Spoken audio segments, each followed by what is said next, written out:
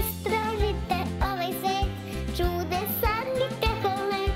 Mi ćemo za vas naći predele gde treba saći. Enciklopedija, deciklopedija, za decu svu šaljem poruku. Čujte pauku! Zdravo, malene i mudre glavice! Danas ćemo zajedno postati još mudriji. Naučit ćemo ko je bio Konfučije i o kakvih se sto škola kineske misli ovde radi. Sto škola kineske misli. Sto škola mišljenja bio je naziv za filozofe i brojne škole koje su postojale u periodu istočne dinastije Zhou. Iako je drugi period vladavine ove dinastije poznati kao period zaraćenih država i doveo do stravičnog razaranja kineske države, ovaj period je kasnije postao i poznat kao zlatno doba kineske filozofije, zato što je došlo kasnije do velikog procvata kineske kulture i civilizacije.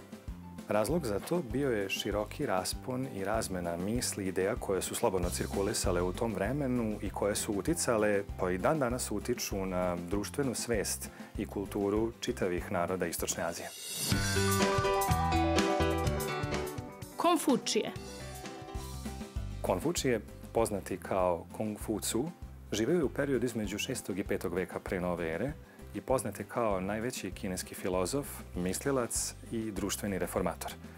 Konfučijeva učenja su bila i ostala veoma značajna širom Istočne Azije.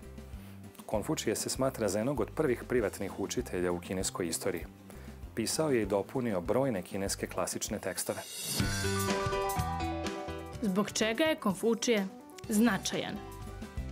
Najznačajniji je bio njegov etički sistem vrednosti koji predstavlja kamen temeljac kineske državnosti i društvene misli.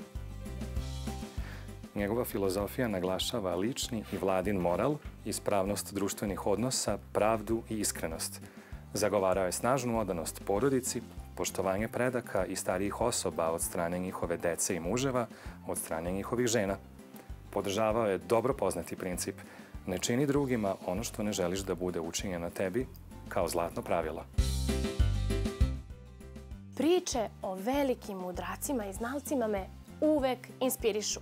Nadam se da i vi osjećate svu snagu koju znanje nosi sa sobom.